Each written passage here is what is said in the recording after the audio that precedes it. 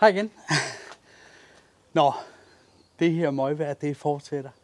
Det er meget koldt, og det, jamen, vi oplever det fire årstid på en eftermiddag.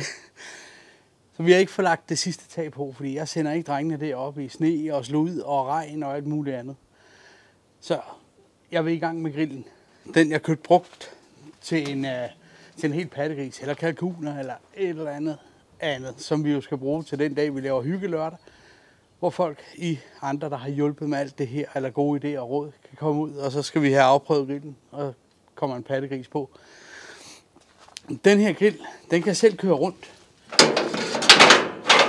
Det er det smarte ved. Så ikke man skal stå med det her stakkels håndtag hele tiden øh, og snurre rundt. Hvem gider det i 3-4 timer?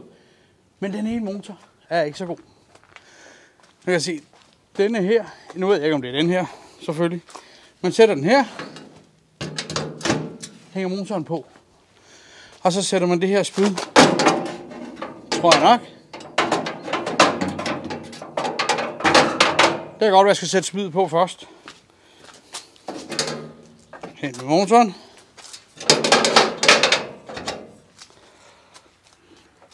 Spyd.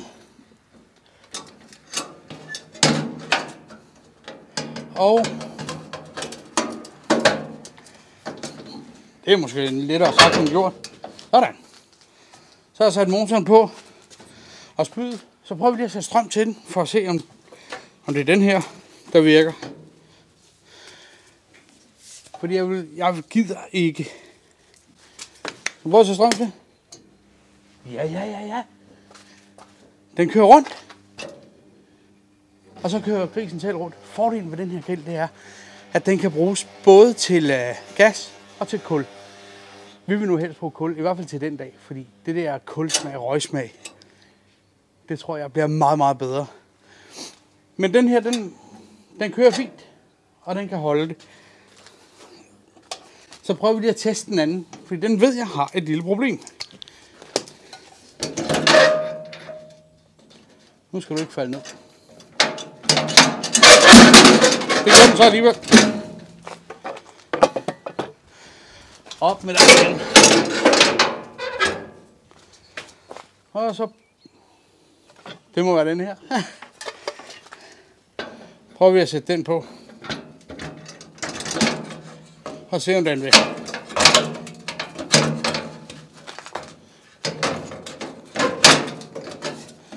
Sådan. Og lige lidt strøm til den. Den er slukket. Så må vi se om... Hov. Så ikke alt det jord med ind i kontakten. Så prøver vi.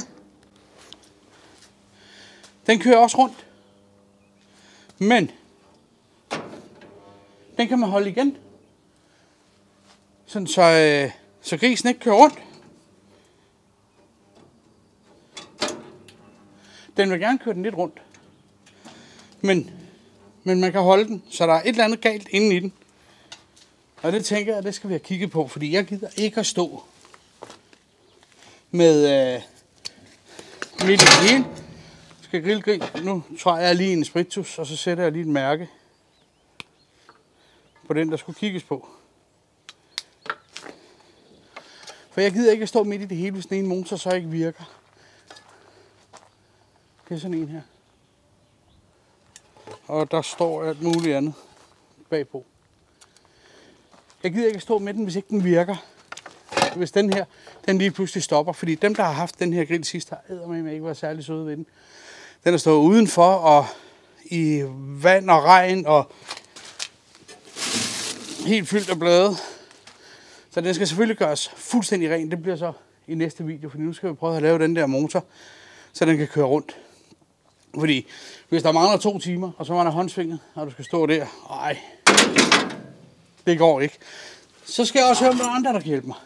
Denne her, det er en af de spyd, man sætter på og binder grisen med i fast. Men der er, mangler her en møtrik, som er spændt over. Og øh, jeg har ikke noget, der kan svejse i, øh, i rustfri. Så hvis der nu sidder en af jer derude, der kan hjælpe mig med at svejse sådan 8 mm møtrik på her, kan I så ikke skrive det ned i kommentarfeltet. Hvis vi bor langt væk, så kan jeg jo sende den til jer. Fordi så kan vi da få grisen til at hænge ordentligt fast. Men jeg gider ikke at kigge på de motorer herude. Det er møghammerende koldt, mand. Så jeg tænker, at vi går ind i varmen, og så får skilt den der helt ad. Jeg, jeg har lige nok ingen forstand på strøm eller noget som helst, men jeg håber, der der er en eller anden split eller et eller andet, der skal spændes. Ellers så må jeg jo bede om hjælp igen. Men grillen, jeg glæder mig så meget til at komme til at bruge den og prøve den. Og sådan så vi kan prøve at smide en gris på, og så få den. Så vi går lige ind i varmen, og så skiller den der motor ad for, for at se, hvorfor den virker. Eller nej, hvorfor den ikke virker. Vi hopper ind i varmen. Der er altså noget bedre temperatur herinde. Den her, det var den, der virkede. Det kan godt være, at den også skal have et service. Den er godt rusten. Øh, og som jeg sagde, jeg gider simpelthen ikke risikere at stå, at man skal bruge det her død kedelige håndsving. Ja, nu den kan køre rundt. Man kan altså sikkert finde noget bedre at bruge tiden på. Øh, som sagt, så skal det hele bruges til sådan en hyggelørdag, vi laver. For alle dem, som har været med til garagen og til grillen og til, til de der forskellige ting. Øh, altså man kan komme og se pizzaovn, rygeovn og alt det der. Men jeg tænker, denne her, hvor den jo holdt igen, den prøver vi at skille ad for at se. jeg har ikke en dyt forstand på det. Bare for at se, hvad der er inde i, og for at se, om det måske er et eller andet, vi lige kan lave, og ellers så må jeg bede om hjælp. Så øh, jeg tror, vi prøver at skille den ad. Og som sagt, hvad der er inde i, det har jeg ingen idé om, eller hvordan den kommer til at se ud eller noget. Og skruerne sidder i hvert fald ikke helt fast.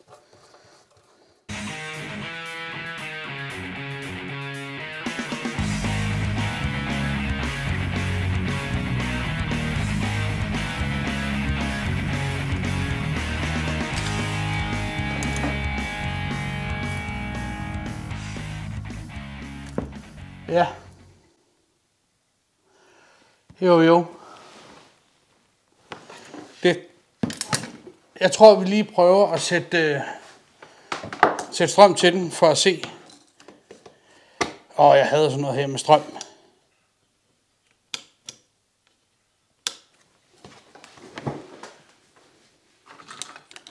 Nu virker den måske slet ikke.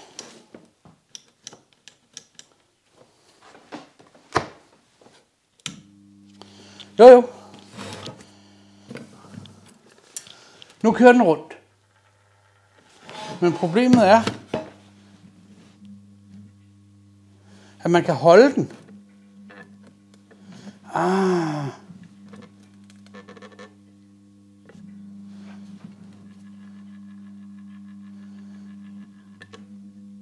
Det er simpelthen, det er inde i, inde i det her gearhalløj, at man kan holde den. Der er sket et eller andet derinde i. Damn. Der skal jeg med nok have hjælp. Desværre. Det troede jeg lige, jeg kunne lave. Nå. Ah, øv. Der er delen ikke noget værre. Nu skal jeg den her opad, for ellers så får jeg stået lige om lidt. Jeg er helt sikker på.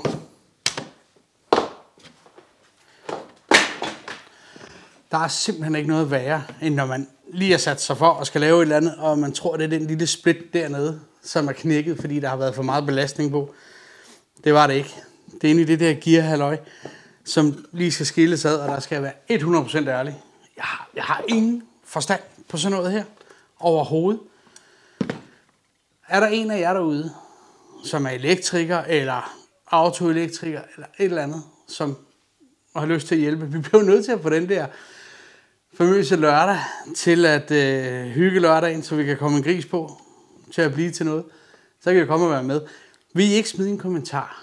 Fordi så kan jeg komme ned i en papkasse, og sende den til jer, så kan I da prøve at kigge på det. Det kan godt være, at jeg siger, at Pedersen, det der Kina noget hen over nakken, fordi det duer ikke mere. Så er der kun en tilbage, og så er der bare håb på, at den holder hele vejen igennem. Og ellers så håber jeg på, at vi er nok mennesker, så vi kan skiftes til at køre grisen rundt, om ikke andet, lidt ad gangen. Uh, øvle bøvle. Det er der simpelthen ikke nok at gøre ved. Ligesom hvis der var en derude, som kunne svejse den der lille 8 mm møtrik på det der stykke rustfri. Uh, det, det skal op og køre. Sådan skal det. Dem, der har brugt den sidste, har ikke været særlig rare ved den. Så øh, jeg håber virkelig, at der sidder en elektriker eller sådan nogle mekaniker, som, øh, som vil prøve at kigge på den for mig. Ja, som jeg sagde, så sender den til jer. Fordi det er jo, kan det staves, så kan det laves. Men ikke af alle. Jeg kunne godt prøve at skille den her ad i atomer. Så er der i hvert fald en ting, der er helt sikkert. Jeg fik den garanteret aldrig nogensinde samlet igen. Min far, han plejede at sige, da jeg var barn, jeg skilte alting ad for at se, hvorfor det kørte godt. Bare for at se, hvorfor det virkede. Og det har jeg lært rigtig meget af. Men hvad der hedder strøm, det dur jeg simpelthen ikke til. Øh, jeg tror ikke, jeg har en eneste skævebider uden. Det ligner sådan en franskbrødskniv, fordi åh, oh, så var det ikke den røde ledning alligevel. Så øh, smid lige en kommentar, hvis I, hvis I har lyst til at hjælpe med at kigge på denne her. Jamen, øh, øv, jeg havde troet, vi kunne sætte den ud på at prøve den. Øh, så det her, det blev, det blev lige videoen for i dag. Næste video, der skal jeg have, enten skal vi have lagt taget færdigt på, eller også så gør vi hele grillen fuldstændig ren, afprøver den med, med både gas og det hele, sådan så den står som en sultebold og 100% klar til, øh, til den skal bruges. Det er heldigvis første sommer, så der er god tid til at lave den her. Der er ikke nogen af os, der gider at stå derude og spise øh, kartoffelsalat og helt stegt pattegris og drikke sodavand og øl og det i snevejr og rigtig dårligt vejr. Vi skal jo også, den dag skal vi jo også prøve at drøner vi noget i rygeovnen og flyte den ind i pizzaovnen og alle de ting, vi har lavet, det skal vi, det skal vi afprøve, så kan I komme og se det. Dem, som har hjulpet til. Så det bliver videoen for i dag. Kan det staves, kan det laves?